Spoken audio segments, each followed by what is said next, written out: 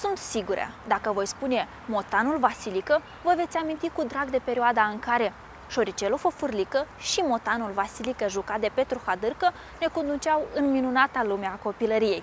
Actorul și regizorul Petru Hatârcă, protagonistul emisiunii de astăzi, a jucat în zeci de roluri. Astăzi însă va fi actorul unui alt fel de spectacol, cel al vieții, al amintirilor plăcute. Domnule Hadârcă, nu este un moment poate cel mai plăcut pentru a începe un interviu plăcut, liniștit, într-o atmosferă foarte plăcută cu o astfel de, de întrebare, dar totuși trebuie să menționez că în 2005 ați fost scos din funcție de director al Teatrului Național Mihai Eminescu din Chișinău din motive politice, mai exact pentru că făceați prea multe premiere românești. La moment știu că vă bucurați de o carieră frumoasă în, sau de succese frumoase în România. Vreți să ne spuneți mai multe detalii? Eh, păi aș începe cu faptul, a fost un pic mai devreme, dar nu prea uh, îmi place să, să, să, să, să vorbească de anumite funcții pe care le-am deținut. Mai mult m-aș bucura atunci când se vorbește de o realizare interesantă în scenă, de o montare. Mai mult chiar aș prefera un rol jucat într-o echipă de succes cu actori pe măsură care știu să improvizeze, care știu să uh, respire replica la nivelul potrivit. A fost uh, și aia o perioadă de experiență pentru viața mea, uh, în viața mea și a fost uh, pentru că uh, am avut o poziție civică chiar și uh, în afara teatrului, dar în societate am, n-am treabă, la alegeri eu sunt primul, vorba vine. Uh, și uh, am apărat uh, adevărata istorie a Teatrului Național din uh, Chișinău, uh, drept dovadă și anul trecut uh, uh, s-a trecut cu vederea un eveniment foarte important pentru mișcarea teatrală din uh, Republica Moldova, când uh, la 10 octombrie 2010 au, uh, s-au împlinit 90 de ani de la înființarea Teatrului Național din Chișinău. Și uh, avem cu ce ne mândri, pentru că s-au educat mari personalități a teatrului uh, românesc. Drept dovadă, voi veni numai cu trei exemple, cu uh, Costache Antoniu, un mare actor uh, care s-a format, a debutat pe scena Teatrului Național din Chișinău, a jucat 9 ani aici, a interpretat roluri precum și cetățeanul turmentat. Găsim această fotografie în Muzeul Teatrului Național de la București, că pe urmă din 35 s-a transferat la București și era actor la Teatrul Național din București. Din 55 până în 70 a fost rectorul Academiei de Teatru și Film din București. Ori perioada aia până în 1990 era o temă tabu. Nu prea se vorbea de mișcarea teatrală de la noi din Chișinău și pe urmă în perioada sovietică, în perioada comunistă în România, la fel nu se vorbea de actorii care au evoluat și s-au format personalitățile artistice la Chișinău. Altă personalitate este Aurel Ion Maican, care a fost uh, director de scenă, a fost regizorul Teatrului Național din Chișinău și uh, a schimbat forma de teatru în 1926, când la cârma uh, direcției teatrului a venit conul uh, Cornel Sachilărescu, îi ziceau conul Sachilărescu și având o deschidere și o dragoste față de artiști, i-a susținut uh, și, cu, și financiar și cu toate posibilitățile. A modificat scena și pentru prima dată în uh, uh, mișcarea teatrală, nu numai la Chișinău, dar în toată România s-a schimbat viziunea de spectacol de teatru. Până la Aurel Ion Maican, până la uh, spectacolele lui, uh, spectacolul era conceput ca o artă de uh, declamatorie, actorii erau în prim plan, iar uh, venind în fruntea teatrului ca uh, regizor uh, artistic uh, Aurel Ion Maican, a modificat scena, a adus orga de lumini și deja spectacolele au apărut, alt, au, au, au apărut într-o altă formulă. Actorul nu mai era cel care declama numai, a apărut într-o imagine, într-un concept, într-un uh, tablou integru. Deci unde era și muzică, unde erau și mizanscene, unde erau și orga de lumini, unde erau și decoruri interesante.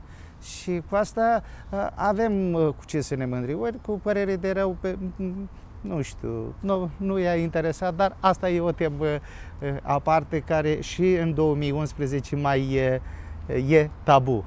Făcând o legătură între actorii despre care vorbeați, să înțelegem că dumneavoastră tot ați fost și actor, și regizor, și directorul teatrului. Da, eu mai mult uh, în adâncul sufletului mă consider actor și sunt și flămând de scenă, așa cum am uh, pomenit anterior. Uh, sunt dornic a juca în spectacole, într-o echipă, să simt alături actori care gândesc, care te uiți la el și vezi uh, replica care ți-o uh, dă, e, are greutate, are, uh, are mesajul, are deci improvizații. La... Vreau să ne vorbiți un pic despre succesele pe care le aveți acum în România. Păi, e mai mult uh, legat de uh, lupta pentru a supraviețui. Deci, am început cu o invitație pe care o acceptasem atunci în 2005 la Teatrul Sic Alexandrescu din eh, Brașov, unde am propus eh, o comedie și aia a fost eh, începutul în calitate de regizor, dar... Se numea o afacere, o afacere sentimentală. sentimentală. Pe urmă au uh, urmat uh, Botoșanu cu două săgeți, pe urmă au urmat uh, Craiova, Teatrul Național din Craiova, în 2006, spectacol care se joacă și acum în stagiune, deci o comedie franceză. Pe urmă iar a urmat uh, Botoșane, pe urmă uh, Bucureștiul și uh, paralel am mai realizat câteva scurt metraje, filme de scurt metraje și mediu metraj și la studio Sahia Film de la București și mai proaspăt care sper să în 28 mai la invitația domnului Sandu Greco spectacolul de la Teatrul Notara se va juca aici la Chișinău. Spectacolul în piața Vladimir. Spectacolul în piața Vladimir de Ludmila Razumovskaya. Uitați că uh, teatru absurdului continuă. Dacă ați pomenit la început că era vorba de mai multă mișcare, gândire, pro-românească, uite că o duc în uh, România, în București, și montez uh, dramaturgie rusească, pentru că cultura și teatru nu are hotare și nu uh, există așa și cum am fost educați și învățați când am făcut facultatea la Moscova, 80-85, cultura rusească este în afara oricărei uh, dictaturi politice.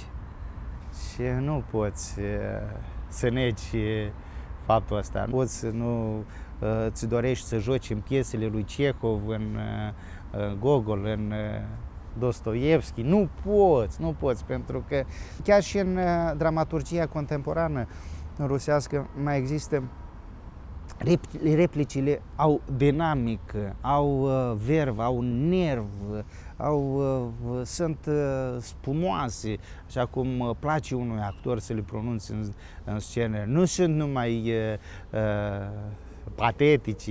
Replică după replică și am ieșit. Replicile sunt scurte, așa cum apreciază uh, și unei, uh, unele personalități artistice din România care zic, mamă, ce-mi place îmi place cum sună replica, cât e de precis, vai, și ce, ce nuanță are ascuns în uh, virgulă, în punctuație. Să știți că mi-ați dat toate întrebările peste cap. Pentru că era planificat, tot ce ați spus acum în câteva propoziții la mine era planificat pentru mai multe întrebări. Dar vom reveni și vom disgioca fiecare punct pe care l-ați vorbit acum, așa mai pendelete. Vreau să-mi spuneți de perioada din uh, 2005, uh, atunci când ați mers cu prima comedie la Botoșani. Sau Nu, la la Brașov? Brașov, Ah, la la Brașov. Și cum a fost această trecere din Moldova într-o altă lume, România? Păi atunci uh, n-a fost uh, prima uh, uh, colaborare, ca să zic, cu teatrul românesc. Prima a fost când am plecat în turneul 90, uh, chiar printre primele colaborări au fost uh, uh, anul 1993, când uh, prin uh, anumite împrejurări eram la București, trecusem concursul și jucam la teatru Creangă din București și jucam și la teatru Notara în spectacole alături de mari personalități și pe urmă am mai avut uh, și alte momente de colaborare, momente plăcute, momente frumoase, aș zice eu, anume în calitate de actor, că acolo mă simt bine și acolo aș vrea să Păi dar acum erați de fapt într-o altă postură de Acum a regizor, fost- care organizați tot, care puneți Da, toate la acum- punct. Acum a fost, a fost ca un examen, deci începutul ăsta de la uh, Brașov. A fost uh, uh, pentru că eu montasem, montasem aici în uh, Chișinău, dar nu mai montasem peste Prut, în țară, acasă. Și aia a fost o, o, o punte de trecere la un alt capitol uh, în meserie, de fapt. Și acum mă simt uh, și bine, și, adică bine, bine în sensul că pot juca prin uh, actorii pe care îi îndrum uh, mai multe personaje, dar oricum uh, sunt flămând de un anumit rol, un anumit spectacol, uh, o anumit comunicare cu anumiți ochi, actori uh, cu care mă simt bine. Cum vă alegeți actorii Uh, care joacă în spectacole montate de Petru Hadârcă? În primul rând, de, la invitația conducerii teatrului, de unde vine propunerea, discutăm despre piesa care uh, urmează să o punem în scenă și pe urmă și la sfaturile direcției, dar mai mult uh, asist și urmăresc uh, până a face distribuția, urmăresc toate spectacolele și încerc să-i uh, văd în, uh, pe actori care s-ar uh, potrivi la rolul cu tare, la... e ca un fel de casting, cum e mai la modă. E o experiență aparte pe care uh, o am tot uh, la București, e vorba mai mult de uh, un anumit gen de spectacole radiofonice. Ceea ce la noi uh, a fost uh, în perioada mai mult uh, uh, a copilăriei, aș zice, când uh, eram toți uh, frapați de acel univers pe care îl ascultam cu urechile, cu gura căscată, la aparatul de radio instalat pe stâlpul de la prispa casei, în momentul când era teatru la microfon. Uite, această tradiție frumoasă la București s-a păstrat și anume la uh, Societatea de Radio, la Radio România, unde există uh, o organizație teatru național radiofonic, unde se produc spectacole radiofonice și unde au uh, loc premiere în localul la Ramada Majestic, pe calea Victoriei, într-o anumită zi de luni, unde vin uh, criticii de teatru, vin uh, spectatorii, uh, asistă la o audiție cu public, se- cu lansare de CD-uri, de uh, piese de teatru și după care are loc o discuție. Ceea ce ne lipsește la noi, într-un Nu fel. ne lipsește această comunicare. Nu ați mai montat de atunci, din 2005, nu ați mai montat în, la noi, la Chișinău, să zicem. Din 2003, când am montat la Ginta la tine o noapte furtunoasă, în 2002 la no- o noapte furtunoasă și în 2003 eh, do- tot 2000, o mofturi parfumate. Dar este o diferență între ceea ce se face în România și ceea ce se face aici? Acum, dacă ați monta ceva, cum ar fi? Sau ar fi o diferență mare? Este o diferență mare? Primul uh, contact pe care l-am avut cu uh, uh, teatru, cu echipa de teatru din România și la care, uh, apropo de diferență, uh, nu m-am putut obișnui. Noi uh, am fost educați în uh, spiritul teatrului uh, rusesc și nu există suflor în uh, teatrul nostru. Nu există funcția de suflor, nu există. Ori uh, în teatrele din România s-a păstrat această funcție. Și nu eram obișnuit când uh, încercam să lucrez, să construiesc o mizan-scenă și să mă uit că actorul își întrerupe gândul și nu are o continuitate, ceea ce aș fi dorit să o văd în uh, ochii lui, în gândirea, în mizanscena pe care încerc să o construiesc și el e cu gândul ce text spune și pe urmă ca să vede că a uitat textul și dă vina pe suflor că nu i-a șoptit în momentul dat textul potrivit. Asta mă deranja. Uite, am avut norocul să lucrez cu actorii ăștia de la Teatru Notara, cu Luminița Gheorghiu și cu Emil Hosu, actori mari, de excepție, și a fost uh, și plăcerea uh, mea de a lucra mai mult uh, la masă, așa cum am fost obișnuiți. Și am lucrat mai mult la masă, impunând uh, un anumit uh, mod de lucru, de a găsi mișcarea gândului la text, la replică, de a găsi uh, anumite uh, lucruri pe care uh, poate le-a intuit numai dramaturgul, dar noi să mergem dincolo de ceea ce a avut în vedere dramaturgul. Și când ne-am urcat în scenă, Uh, și am început să ridicăm uh, propriu zis uh, spectacolul mizanscenic, ei deja nu mai aveau nevoie de suflări pentru că e o metodă pe care am învățat-o și noi la Moscova și uh, evoluția vine de la sine, deci textul uh, și replica, dacă e construit și dezghiocat bine Uh, textul dramaturgului, atunci nu ai nevoie de cicăleală, de a memoriza uh, forțat uh, textul pe din afară. Trebuie să le spunem telespectatorilor noștri că vorbim tot despre acești doi actori despre care tot pomeniți, că joacă de fapt în spectacolul în piața Vladimir, după piesa rusoacei Ludmila Razumovskaya. Este o dramă, făcând de fapt o concluzie, putem să spunem că este o dramă plină de melancolie, despre doi foști colegi de școală care se reîntâlnesc după 40 de ani și își povestesc într-un fel cele trăite și cele văzute.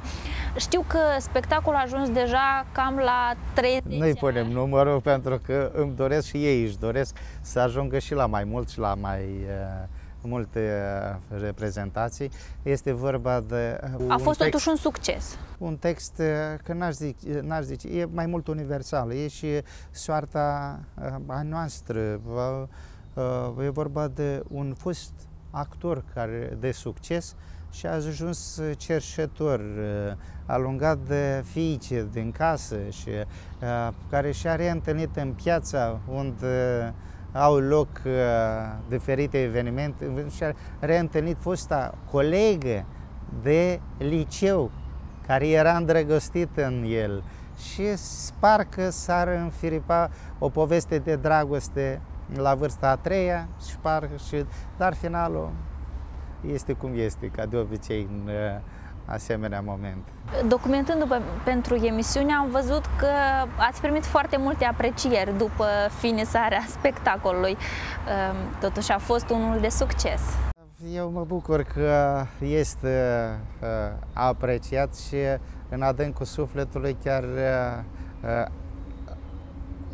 le primesc aplauzele pe care le primesc ei, actorii, și era și momentul când nu eram invidioși pe ei, că nu sunt și eu cu ei în scenă acolo, dar am reușit împreună, într-o echipă, să construim acel, acest spectacol uh, și cum mi-am propus de la prima repetiție când uh, am stat uh, împreună și am făcut prima lectură, am zis că mi-aș dori că dacă reușim să dezghiocăm la corect acest text, ca spectacolul, pe urmă, care nu prea are nevoie de decor, că mesajul importă, să se joace spectacolul și pe o aripă de avion. Și voi să nu vă dați seama de momentul ăsta că scena reprezintă o aripă de avion.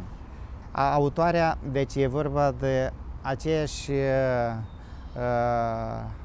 acela dramaturg, Ludmila Razumovskaya, după care s-a făcut filmul Daragaie Elena Sergeevna de Razumovskaya în regia lui Rezanov. Dar vreau să întreb cum au primit românii o piesă rusească? Ei sunt înnebuniți, cum am vorbit mai sus, ei sunt îndrăgostiți de dramaturgia rusească și pe bune. Pentru că cultura rusească este mare. Este în afara politicului, așa cum uh, am vorbit. Și chiar și sunt dornici, sunt în căutare anume de piese rusești. Este absurdul. Aici eram uh, învinuit că sunt adeptul unei promovări a culturii românești. Mă duc în uh, România și promovez, am montat și Bolodin, uh, drept dovadă alt dramaturg rus montez și am montat și Razumovska. Mai sunt uh, și alte uh, piese de teatru pe care uh, intenționez să le realizez. Despre ce vorbeau aplauzele de la finele um, spectacolului? Despre uh, acel uh, moment emotiv care a reușit uh, uh, prin spectacol să uh, provoace spectatorul și la un zâmbet, cu toate că e vorba de o dramă, și la o, o lacrimă și uh, spectatorul după spectacol uh, sper că uh, așa și cum uh, mi-au și transmis uh, femeile de la garderobă, cum ieșeau și discutau cu, cu emoții și uh, mesajul cuvenit. Sunt uh, emoții pe care uh, mi le-aș fi dorit uh, mai des să le simt să simt uh, mirosul aplauzilor, anume la finele spectacolului. Sunt două momente uh, uh, în timpul uh, unui spectacol de teatru seara pentru mine uh, și în calitate de actor. Uh, la început, uh, primele 5 minute când începe spectacolul și încă nu știi cu ce fel de contingent de spectatori ai de a face, cu cine vrei Uh, vor fi cei care vor înghiți replicile și jocul tău, vor aprecia sau uh, sunt uh, un public așa mai greoi. Uh, și după primele 5 minute, după, după ce simți respirația și se contopesc uh, energia din scenă și cu cea din sală și uh, intri într-o respirație cu uh, spectatorul, atunci te simți uh, liber și poți uh, zbura în uh, Uh, spectacol, în, uh, în personajul pe care îl interpretez. Și la sfârșitul spectacolului, uh, acele momente frumoase și reacțiile pe care le simți și le potrivești chiar și cu unele momente din uh, timpul repetițiilor când spuneam actorilor, zic că o să vedeți că aici o să aveți aplauze, aici o să fie așa și vai, și pe urmă stăm și analizăm, pe urmă mai uh, gândim că stau, aici ar trebui să mai modificăm ceva. De-aia e frumos uh, teatru și uh, spectacolul pe viu, spre deosebire de cel cinematografic, aici ai, ai posibilitatea de a vedea arta pe viu, de a o simți, îi vezi cum curge sângele, îi vezi cum bai, e, e, e viață asta. Mergând și eu deseori la teatru, văd că chiar am avut posibilitatea să văd același spectacol de câteva ori și vedeam că, exact cum ziceți, depinde de public. De fiecare dată parcă e un pic altfel, parcă vezi și spectacolul altfel. Și pentru dumneavoastră ca om de teatru sau pentru oamenii de teatru, cred că e destul de important acest lucru să, sau îți dă idei, nu știu, pentru ca să faci mai departe un alt spectacol, să montezi altceva, nu? Și asta, dar e și o lume aparte care îți propune uh, și îți uh, dorința de a deschide și alte uși uh, spre alt univers teatral, spre alte spectacole, spre alte roluri, pentru că cine e bolnav de teatru este o boală incurabilă. Deci nu se lecuiește de, de teatru nimeni. Nu, cel care e bolnav, de bun. Spuneați că pe 28 mai va fi jucat și acest spectacol la Chișinău, la Teatrul Satiricus. Cum vă așteptați să fie? V-ați gândit așa? Cu emoții mă aștept să fie, pentru că îmi doresc de mult să aduc un spectacol în regie semnat de mine, deci să-l aduc la publicul de la Chișinău pentru că apreciez pozitiv reacția spectatorului și inteligența, cultura spectatorului de la noi, de la Chișinău. Este un public rar și dorit, mult chiar de unele teatre din România. Suntem mai receptivi? Suntem, Suntem mai deschiși? Nu, influența culturii rusești a avut un impact pozitiv asupra uh, noastră, a oamenilor de teatru și asupra spectatorilor. Uh, și tot timpul, chiar uh, citeam în cartea domnului uh, Leonid Cemortan, regretatul critic de teatru de la noi, că am povestit că în perioada interbelică, înainte de unirea cu uh, țara, uh, aici, la Chișinău, uh, perendau foarte multe colective teatrale. Veneau și de la Paris, veneau și de la Berlin, veneau și de la San Petersburg, veneau și din Odessa, din Moscova. Deci era un centru cultural în mișcare tot timpul. Știți? Și este că chestia asta, tradiția asta a căpătat greutate cu anii. Dumneavoastră, de fiecare dată când se joacă spectacolul montat de dumneavoastră, mergeți la și îl priviți? Nu. Sau sunteți în sală? Nu, numai la prima, la a doua, poate chiar și la a treia reprezentație. Pe urmă, gata, ți-ai făcut meseria de regizor, asta e ți-ai luat banul și ai plecat. și mă rog, spectacolul și are viața lui. Eu acum sunt curios să merg chiar și la spectacolul Noroc și Sănătate, domnule, de la Craiova, pe care nu l-am văzut din 2006 și l-am văzut în repertoriu că se joacă și acum, să văd ce a mai rămas din ce am uh, realizat atunci împreună și chiar glumeam cu unei din, cu Angela Rababo, cu Natasha Arab, care joacă la Craiova în spectacol. Ce nu, nu, nu, nu, noi am păstrat, am păstrat tot ceea ce ne-ai spus, indicațiile. Și uh, am o piesă uh, pe care, o comedie, mai bine zis, Poate odată și odată voi uh, nu numai o să o montez, dar o să și joc în spectacol. E vorba de scandal în culise, o comedie, când un regizor, după ce și-a montat, a venit după 2 ani de zile să-și vadă spectacolul și nu l-a mai recunoscut. Actorul, regizorul, bine, ce să mai vorbim, omul de teatru, Petru Hadârcă, merge deseori la teatru? Merg, merg de câte ori e un eveniment interesant și are profit. Ce fel de spectacol poate să-l intrige pe Petru Hadârcă să meargă spectacol să-l vizioneze? Calitate, spectacol de suflet. Eu sunt uh, mai mult adeptul uh, spectacolului uh, uh, personalității artistului în scenă. Acolo unde văd uh, uh, actorul că este pe bune o personalitate și nu este folosit numai în calitate de marionetă și uh, folosit, deci uh, acolo e creație. Actorul trebuie să se confrunte cu ideile și cu oferte, propunerile pe care le face regizorul și din asta apar scântei și apare și adevărată artă. Apare, trebuie să, uh, și eu sunt adeptul, uh, cu părere de rău, uh, noi acum nu prea uh, avem uh, teren de deschidere.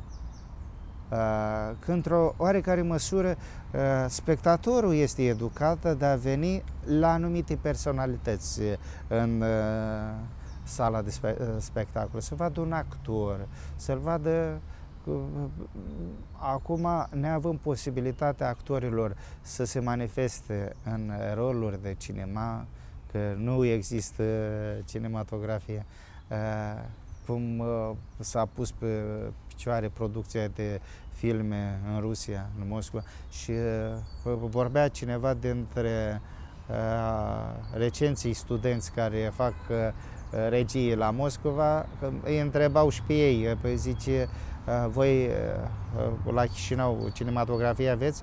Păi zice, nu prea avem, nu avem acum. Zice, dar cum? Dar spectatorii cum vin la teatru? Uite așa, mai vin la teatru la noi. Putem spune că atmosfera care este creată în sânul naturii, cu păsările care foarte frumos ne mențin anturajul, este ca un spectacol jucat, trăit de protagoniștii sau protagonistul acestei emisiuni. Vreau să întreb, pentru că îmi dați replici foarte frumoase. Cum ar fi dacă ar mai juca acum actorul Petru Hadârcă? Vă mai doriți această perioadă? Din tot sufletul meu doresc. Ultime, îmi doresc, îmi doresc, uh, pentru că uh, viața în scenă este cu totul alta decât, uh, viața, decât uh, cea din sala de spectacole și uh, mai ales să simți mirosul culisilor, să simți acea rază de lumină de la, uh, care încălzește de la uh, lumina din culisa din stânga sau din dreapta sau din spate. Emoțiile de la începutul spectacolului? Emoțiile care de la bun început, de la începutul spectacolului și pe urmă zborul pe care ți-l iei după cele 5 minute de la începutul spectacolului. Zborul pe care ți-l iei și asta depinde de spectator care e exact ca și cel care trage cu săgeata.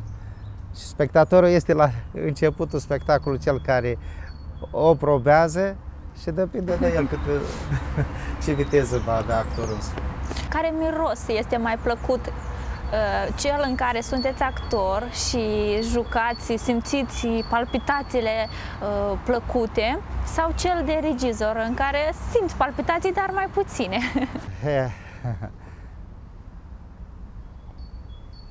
La momentul dat, uh, mai mult actorul de mine ar vorbi, cred că. Dar încerc să supraviețuiesc pentru că ai familie, ai și trebuie să reușești să aduci o bucată de pâine acasă.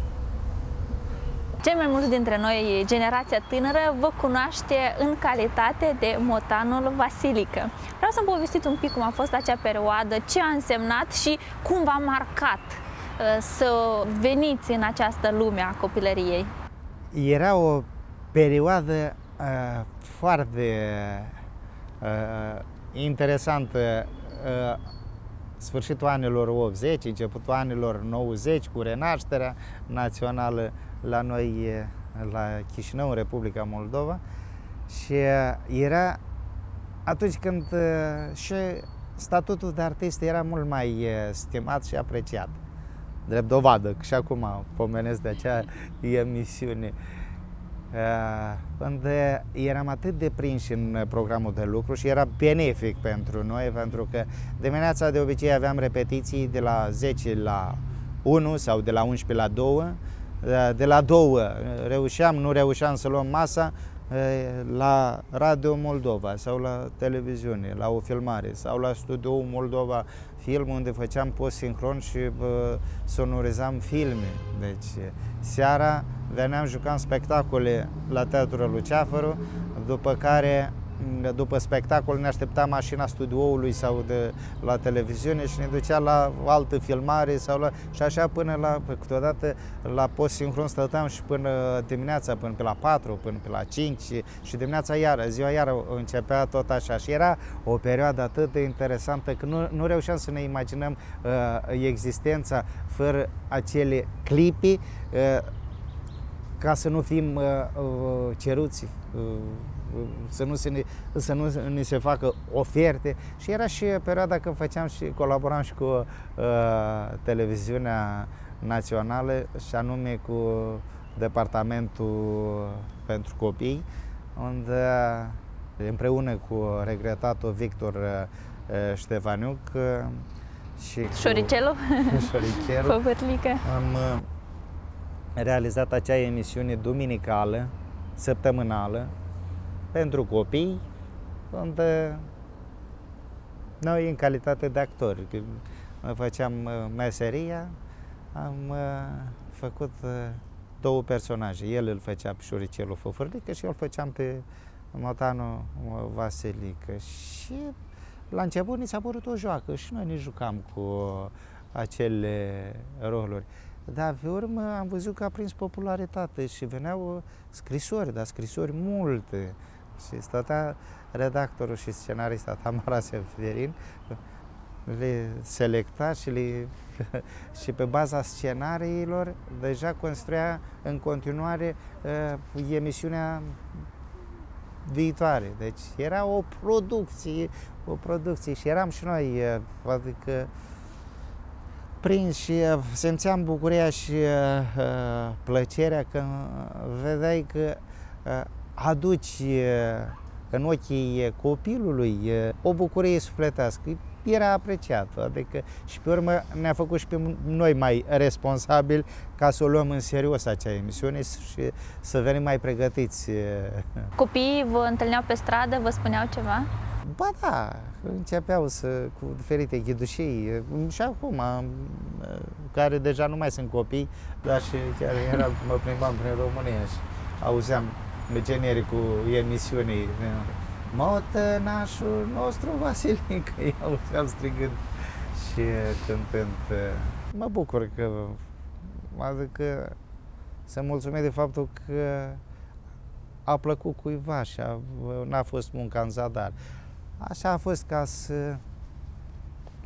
O perioadă de trei ani a durat emisiunea. Cu părere de rău, am înțeles că nu mai sunt, nu, mai, nu s-au mai păstrat.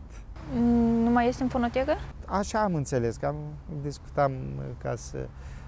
Aș fi fost și eu curios să văd ce a fost, să mă uit cu alți ochi la cei 20 de ani trecuți. Adică a fost tot din motive politice oprit? Nu știu dacă de mai mult din alte motive, nu știu, economici, tehnici, nici nu pot să-mi dau seama. Uite, în noiembrie, decembrie, am realizat la uh, București, la Teatrul Național Radiofonic, uh, două spectacole după Panaiti Strate, cu o echipă de actori de excepție. În rolul lui Panaiti Strate a fost regretatul Florian Pitiș, scenariu, scenarista uh, de, scris de Camila Stănescu și Dan Ursuleanu, au scris spectacolul ținând cont de înregistrările pe care le-a făcut Florian Pitiș când era în viață, în anii 70-80 și acea voce am putut să o folosesc și să o montez cu alături, cu actori pe viu care erau în, în studio cu Constantin Codrescu, vocea din arhiva de aur a radioului, era într-o scenă, deci ca și cum comunicăm noi acum cu Panaiti Strate, interpretat de Florian Pitiș, vocea adusă de, din arhiva radioului. Ori așa ceva la noi nu poți face dacă ai avea intenție să realizezi un uh, moment de ăsta, că ți-ar, uh, ți-ai dori. Chiar uh, săptămâna asta, ce să vorbim, uh, realizez o emisiune dominicală, o emisiune de umor la Radio Moldova. Ministerul Afacerilor de Râs. Și a fost o duminică mai specială cu uh, Duminica Blajinilor și m-am gândit ca să putem uh, trece în uh, memorie uh, vocile actorilor care au jucat comedii. Și de, am constatat cu regret că n-am putut găsi vocea lui uh, Nea Costache, care l-a interpret, a interpretat-o pe Chirița. Na. Că atâția ani s-a jucat piesele. Da. Sau altele, sau mai multe din astea. Sau după moartea lui Cara Ciobanu, Chirița interpretată de Cara Ciobanu a fost demagnetizată. Deci, astea sunt crime. Pe lângă rolul bine cunoscut deja motanul Vasilică, ați mai avut și alte roluri de-a lungul carierei dumneavoastră, care v-a rămas uh, cel mai bine în minte și de ce vă amintește? Păi mi-amintesc ultimele pe care le-am interpretat la Teatrul Național, uh, în visul unei nopți de vară, al Fundulea, echipa meșterilor în regia lui Sandu Vaselache. Și în uh, profesorul Serebracov în uh, unchiul Vanea, astea au fost cam ultimele, în 2004-2005. De ce v-au rămas în minte? Pentru că m-am simțit bine în, uh, alături de actori buni, actori profesioniști, alături în miza în scene și am văzut că actorii gândeau în scenă și erau parteneri pe potrivă. Nu, nu erau falși și era, era plăcut și te simțeai și tu protejat. Există un secret și asta încerc să-l uh, implementez și atunci când montez în, în calitate de regizor. Zic, nu te gândi, nu fii egoist în scenă. Ajută-ți partenerul ca el să fie mai bun decât tine. Și el la rândul lui să facă același lucru, să te ajute pe tine, tu să fii mai bun ca el. Uite, chestia asta s-a simțit, am uh, simțit-o și în unchiul Vanea, jucând alături de Igor Caras, de Nelly Cozaru, Mihaela Strâmbeanu, de Leo Rudencu, de Genuț Gâlcă, în visul unei nopți de vară, la fel cu alături de Anatul Durvală. Era, era ne simțeam bine, deci era, era frumos, era, eram acasă. Totuși, profesia dumneavoastră prezintă, vrând nevrând, o viață dublă. Cum vă simțiți atunci când trebuie să intrați în atâtea roluri? Astăzi este o comedie, peste o săptămână este o dramă. Cum, cum este posibil? Păi cum, m-aș simți fericit dacă ar fi mai des această provocare, dacă și m-aș simți mai fericit dacă aș simți că și spectatorul e dornic de spectacole de teatru. Teatru, teatru este veșnic. Teatru nu va... O să vedeți că o să revină lumea mai mult în selele de teatru pentru că deja este o avalanșă de posturi de televiziune, de emisiuni și lumea a cam obosit. Vrea să pună mâna pe actor. Nu mai există meserie de actor a fi exotic. Deci vrea să vină în selele de spectacol să-i audă respirația actorului din scenă, să vadă să vadă meserie. Să simți într-un fel trăirile. Pe viu, pe viu. Da. Nu că nu pot să evit, ar fi incorrect să spun că nu pot să evit tema despre care vreau să discutăm acum. Totuși mi se pare corect să abordăm și un pic de politică în, în toată avalanșa, în spectacolul pe care îl jucăm acum. Cât de mult vă interesează acest subiect sau cum este privită politica de un actor? Eu am încercat în primul rând de fiecare dată și chiar și acum, dacă încerc să nu mă mai intereseze, adică anumite declarații pe care le vezi și într-o oarecare măsură și îi vezi și pe jurnaliștii care își fac meserii și aleargă după senzații și aduc în prim plan, în imagine, anumite show-uri ieftine ale politicienilor care te dezgustă, în primul rând. Și eu am simțit-o și pe pelea mea. Uh, am simțit-o, adică cum? Și acum, asta nu înseamnă că eu nu am un statut, o poziție civică și nu, am, uh, nu mă interesează ceea ce se întâmplă în societatea noastră. Nu o să particip eu, la vot, ba din contră, eu de fiecare dată o să mă duc să-mi fac uh, uh datoria sfântă de cetățean, de alegător, dar uh, vorba e de alt ceva, că uh, s-a schimbat uh, Uh, cântarul, placa. Mm, uh, și politicienii au început să facă show uh, ieftin, să se dea în teatru și asta e urât, asta mă deranjează. Nu mă, mă uit cu invidii că uh, mi-au luat uh, meseria, mi-au luat pâinea. Mă uit cu dezgust la, pentru că nu, nu-și fac... Uh... Nu-și fac temele bine, înseamnă că nu sunt niște actori buni. Asta e. Nu E și normal ca fiecare om să aibă pasiunile, dorințele sale. Vreau să vă întreb dacă dumneavoastră puteți să vă mândriți cu vreo colecție interesantă, cu ceva anume. Când eram mai tânăr mai făceam colecții. Acum nu-mi rămâne decât uh, să-mi colecționez anii. anii, rolurile realizate și pe care aș vrea de aici încolo să le realizez. Asta a fost numai așa o, un prag pentru început de carieră, mă gândesc. O să-i puneți într-un teatru imaginar sau un holul teatrului imaginar? Poate și vizual, de ce nu mai imaginar? O să ne invitați și pe noi la premieră. Actorul Petru Hadârc, personalitate deja bine cunoscută în Republica Moldova, nu vreau să zic și peste hotarele țării, este deseori întâlnit în transportul public. Știu că acum e la modă fiecare persoană publică deja să-și aibă transportul său personal. Să înțelegem că nu sunteți o persoană fițoasă? Păi, dacă aș fi fost actor la Hollywood sau chiar și la Moscova, poate m-aș fi deplasat uh, cu helicopterul chiar și la emisiunea uh, de astăzi, aș fi venit cu un helicopter sau cu un Mercedes marca 600, dar așa mă deplasez și eu în spiritul poveștilor populare. Nici pe băț, nici călare, da, cu microbuzul sau cu troleibuzul.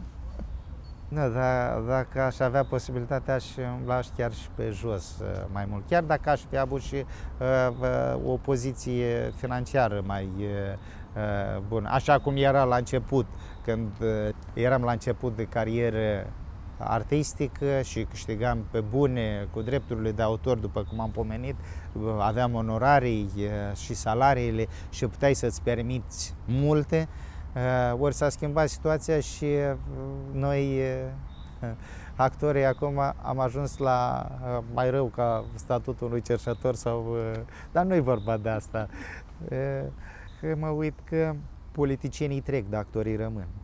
Revenind la lucrurile frumoase, prietenii, rudele, cei apropiați dumneavoastră știu că în fiecare an, pe data de 8 mai, trebuie trebuie, sunt obligați, le face plăcere, o să-mi facă și mie plăcere să vă telefoneze, să vă telefonez și să vă spun un sincer la mulți ani. Adică este ziua dumneavoastră de naștere. Cum obișnuiți să o sărbătoriți și ce o să faceți în acest an? De fapt, fiind și motivul pentru care ați fost protagonistul din săptămâna aceasta a emisiunii. Era să zic, când eram mai tânăr, când eram, atunci chiar îmi plăcea și așteptam că erai băgat în seamă, măcar o dată, o zi pe an erai în prim plan și toți aveau grijă să-ți spună la mulți ani, felicitări. Sărbătorile astea de cei ce țin de familie, zilei de naștere, chiar ne simțim bine împreună cu prietenii și cu rudele să ieșim la iarbă verde, să ieșim pe malul unui lac, să ieșim la un frigărui și ești în sânul naturii și simți frumusețea și bogăția pe care o mai avem noi în Republica Moldova. O natură fantastică, excepțională. Nici munte nu-ți trebuie. Nici munte, nici mare. Ești Republica Moldova. mă gândesc și eu la ziua de mâine. Sigur că cui nu-i place să aud o felicitare, o un sincer la mulți ani. Am zis că n-am să recit, dar aici nu, cu vorba poetului Ivon Hadârcă. Anii mei tinerei i-a strigat cineva tocmai când îi hrăneam cu semințe de stea. Și era că pe ce să pun mâna pe ei. Cineva i-a strigat și s-au dus anii mei. Numai ramul atins ca o strună de dor se zbătu amărât peste zvâcnetul lor. Însă pomul bătrân cu blândețe i-a zis, dormi copile, adormi, nu fugi după vis, peste viscule mari, amintiri de omăr, într-o zi anii mei s-au întors în dărât. Mai cu minți, nu știu cum, după zborul prelung, ce să fac azi cu ei? Să-i primesc? Să-i alung? Asta zic și eu. E o zi așa mai, mai importantă poate pentru mine, pentru cei apropiați, pentru mama care se bucură de toate, dar mai apar fire cărunte după asta. Nu o să faceți prea mare sărbătoare? Nu, înțeleg. noi obișnuim de obicei când e, dacă, după posibilități, așa, că să ne bucurăm de primăvară, de ieșirea la o iarbă verde, cum îi zic, sau vorba tot a lui Caragiale. Îmi place către primăvară să mănânc ochiuri cu spanac, dar nici spanac, nici ochiuri simple nu pot să gust. Sunt prea sărac. thank you